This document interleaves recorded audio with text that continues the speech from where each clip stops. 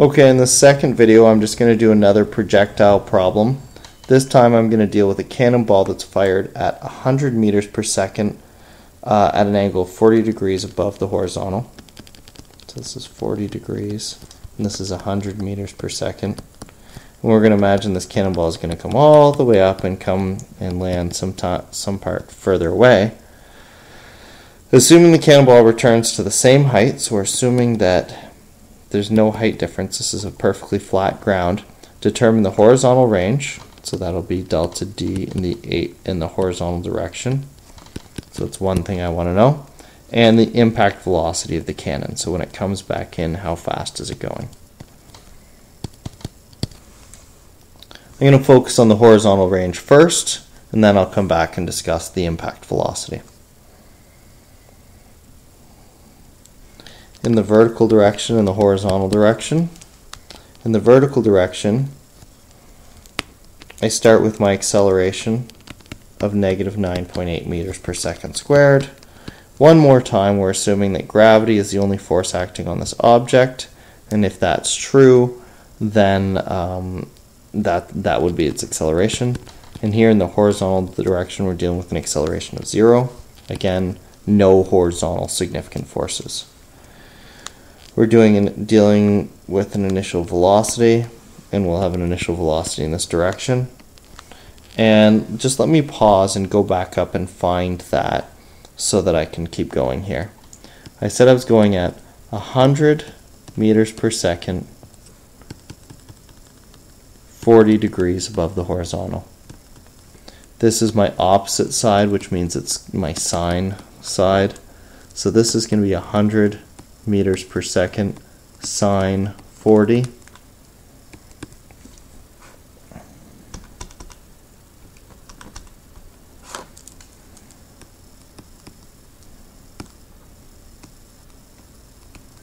If you're having trouble seeing how I got to that 100 sine 40, you should go back and look at earlier videos related to how to use the component method. This is my adjacent side, which means it goes with my cosine ratio, and I can jump to the 100 meters per second, cos 40.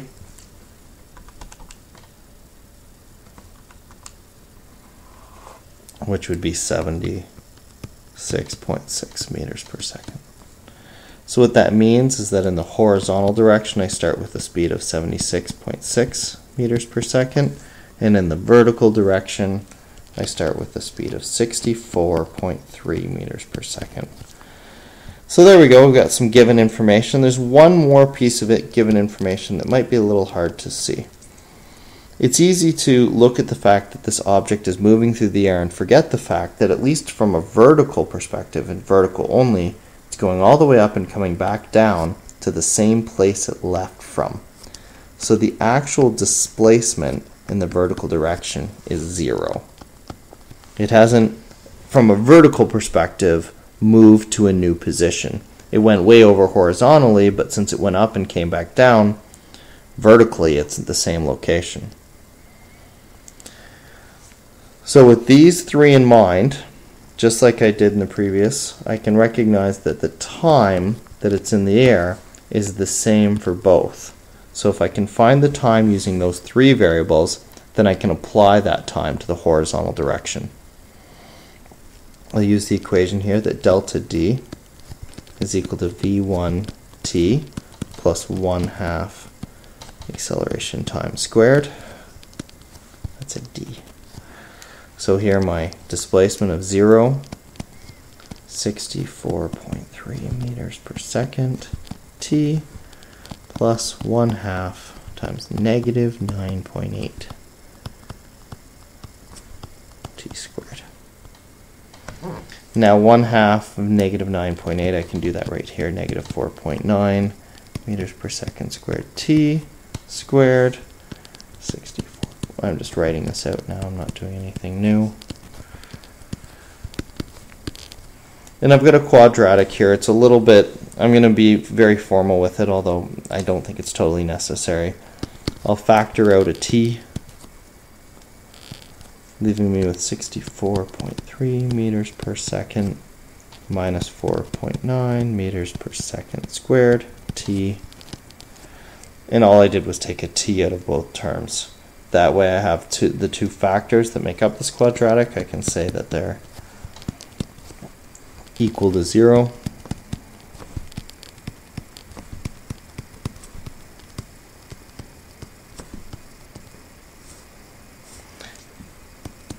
And here, this factor, we can think of as that's when the cannonball was launched initially. Since we're interested in where it is finally, that's not an interesting root to us. So we're going to be working with this factor here.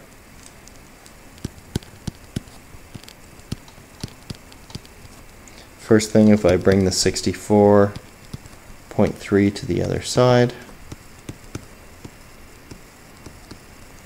then divide both sides by negative 4.9, I can come up with the time of flight.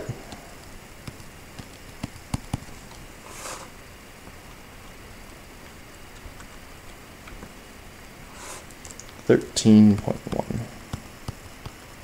There's more, I'm just rounding. So that's how long this cannonball is in the air, 13.1 seconds. Again, just to reiterate the point here, I had this root t equals 0. If I go up to my diagram, we can see that, yep, the cannonball was at the ground at t equals 0, but it's going to come up all the way. And what we're really interested in, what's happening over here. And we just came up with that time at 13.1 seconds. Okay, so now I can add that time to my horizontal direction and then I can solve for my displacement in the horizontal direction. Here I'm going to use that same equation, displacement equals v1t plus 1 half at squared. This is a little unnecessary. This is uniform motion. I could use the simplified equation, but I use the, the bigger one just to avoid making mistakes. 76.6 meters per second times a time of 13.1 seconds. And since my acceleration is zero, this whole term goes to zero and I don't have to worry about it. So all I have to do here is multiply that by my 76.6 which works out to 1,005 meters. This cannonball was going pretty fast, so it's landing pretty darn far away. So it shoots out of the cannon really fast and comes all the way back down here and lands 1,005 meters away, which is essentially a kilometer. It's going pretty darn fast in the first place. Now, the impact velocity. There's a really short and easy answer to this question, but I'm going to prove it mathematically just to be complete. Since this object is returning to the same height that it left from, any acceleration it does to slow down on the way up, it will speed back up on the way back down. And if you look at the symmetry of this problem, I think you can see, sort of logically, that it's going to come into the ground at the same speed it was shot off at. So it was shot up at 100 meters per second. It's going to come back down at 100 meters per second. The only thing is instead of being 40 degrees above the horizontal, it'll be 40 degrees below the horizontal. It's going to slow down as it goes up, and then it's going to fall through the same displacement and speed right back up and come back in at the exact same speed. That being said, let's just show that mathematically to be really complete. I'm going to move way over here and sort of start a whole new thing just to get us a clean page to work with. So we got velo vertical and horizontal. Our acceleration in the vertical direction is negative 9.8 meters per second squared. In the horizontal direction is zero. Again, gravity pulls it down. Horizontally, it just moves along. V1 and V1, I'm going to have to sneak peeks at these guys. Uh, my initial was, is that a 64? Yeah, 64.3 in the vertical direction. And 76.6 in the horizontal direction.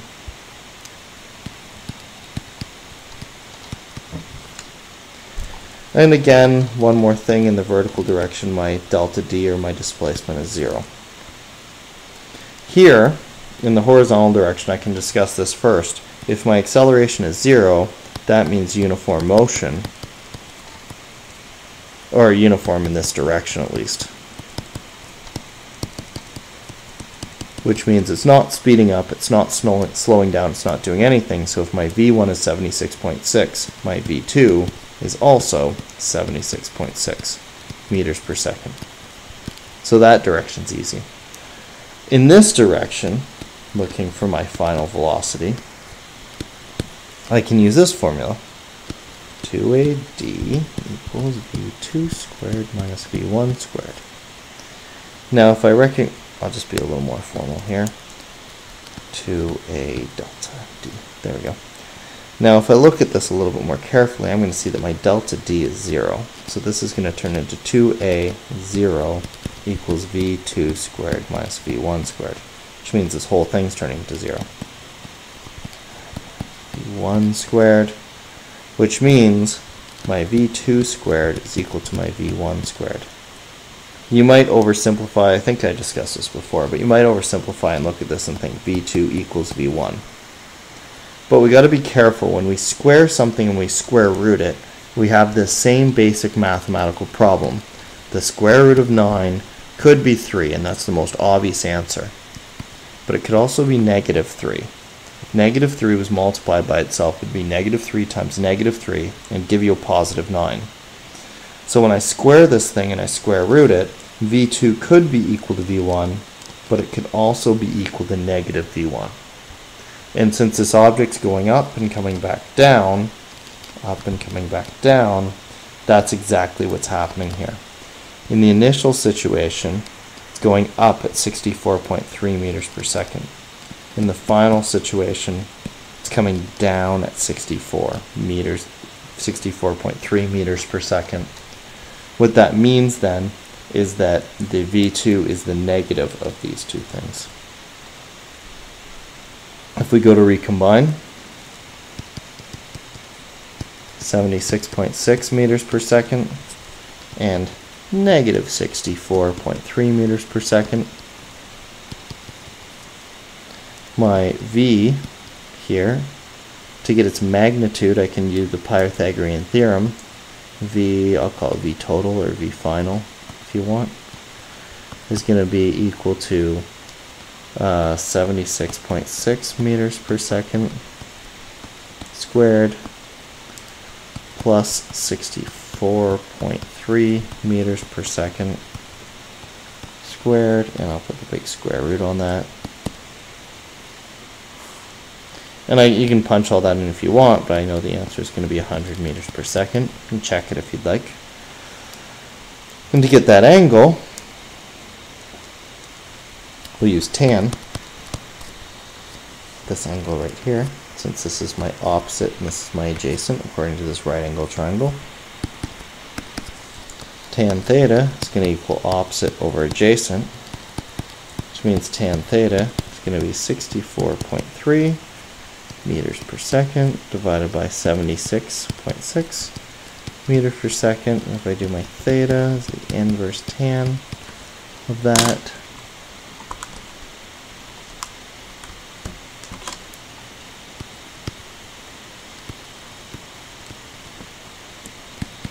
It's going to be 40 degrees. And so I get that my final velocity is equal to 100 meters per second this time 40 degrees below the horizontal. We can see that below the horizontal right here. It's obviously below the horizontal. So there's uh, an object rolling off a flat, flat plane and a secondary object that's uh, sent up from the ground at some angle.